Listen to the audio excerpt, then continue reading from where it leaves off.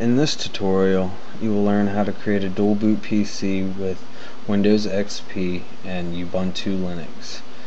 The things you'll need is a Ubuntu CD and a Windows XP CD. First start off by shutting down your PC and inserting the Windows XP CD and booting from the Windows XP CD.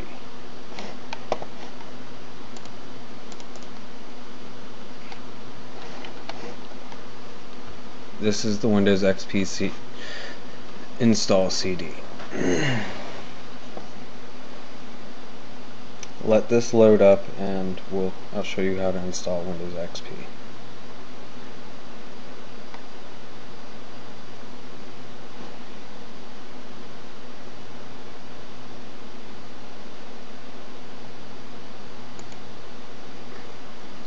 Once you get to the screen you want to hit enter to do a new Windows XP install.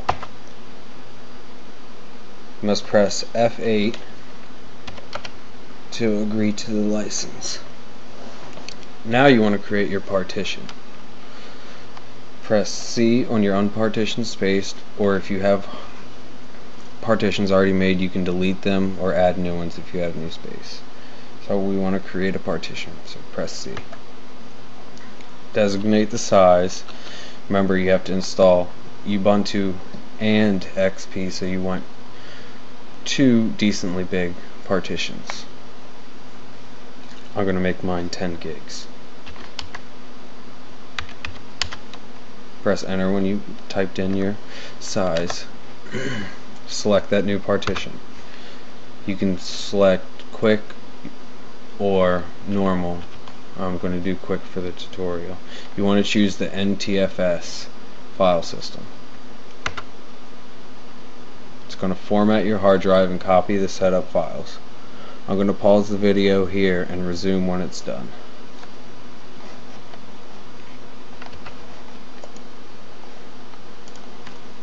Once the setup has copied all the files, your computer will restart.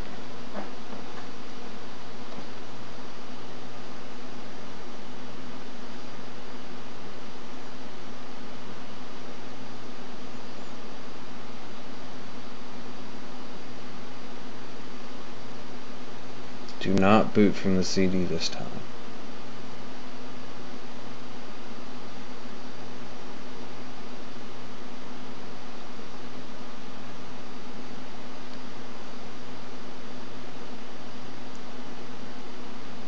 From here, the installer will now configure your new Windows installation. I'm going to pause the video here until the first dialog box comes up. Here's the first dialog box that you'll see when you're installing Windows XP. Just click Next on this dialog box. Enter your name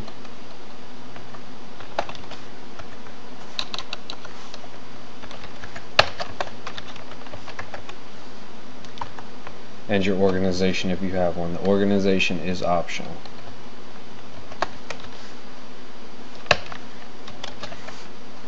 Click next. Now here you'll enter your product key for Windows XP. I'm going to pause the video and enter my product key and hit next.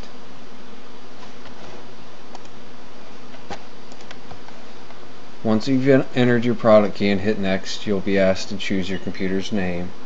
You can change it to whatever you want to, there's no spaces.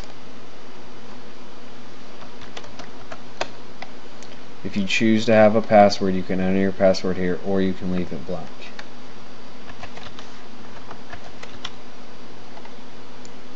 Hit next. You can set your time and date here in your region. And hit next. I'm going to pause the video here until the next dialog box shows up.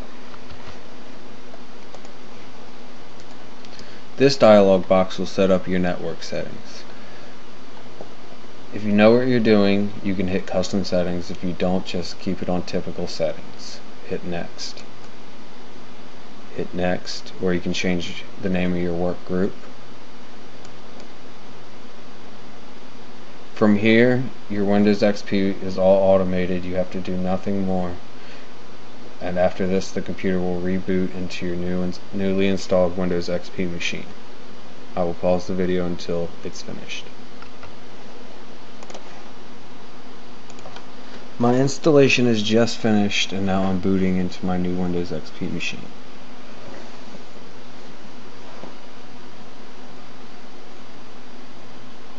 Click OK.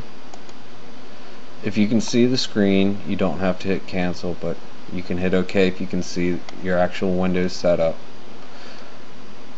If not, hit cancel.